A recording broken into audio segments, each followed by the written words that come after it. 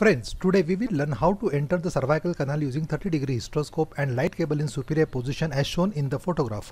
After distending vagina with fluid medium and approximating the labial folds, the cervix and the external os is visualized. If the external os is in the center of the screen, then invariably you will be touching the anterior lip of the cervix and entry into the cervical canal will not be easy as shown in the video.